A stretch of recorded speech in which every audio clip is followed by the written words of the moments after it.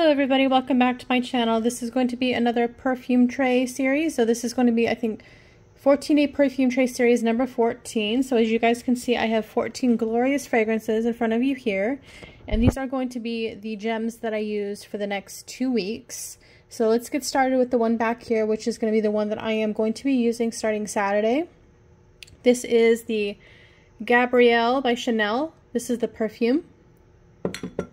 Then right here, we've got the Vera Wang, Vera Wang Princess. Okay. And then we have the small one ounce Stella by Stella McCartney. This is her signature fragrance.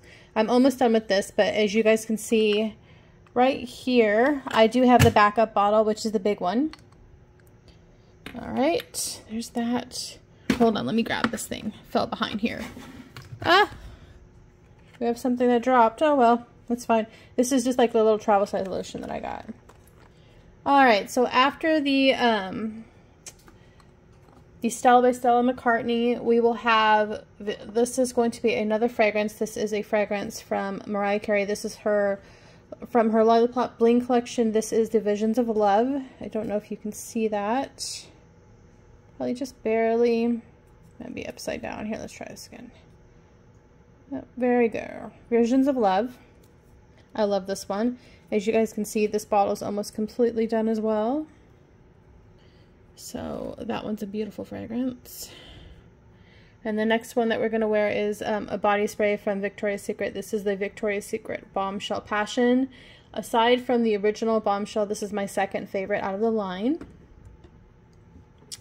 And then after that, we will be using, this is the uh, Sol de Janeiro uh, Cheirosa 62. This is the perfume version of it.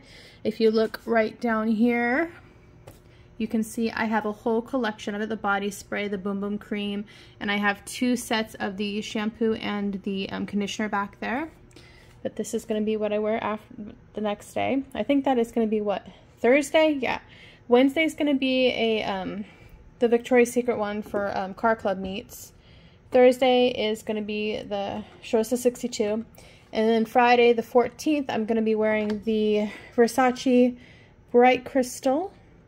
Absolute, or this is the Bright Crystal. Very nice. It's a very beautiful fragrance. So I will be wearing that one on the 14th. And on the 15th, I will be wearing the Dolce Dolce uh, Garden. This is by Dolce & Gabbana. I love this fragrance. Okay. And then on the 16th, I'll be wearing the Joy by Dior. And then on the 17th, I will be wearing, this is the um, Chanel Chance Eau Fraiche. I don't have the actual perfume just yet. Um, when I worked at Dillard's, I sprayed some of this in the little decanter here, but this is the this is the um, Fresh by Chanel Chance line. And then I will be wearing this one here, Bright and Cool and Bright by um, Pink.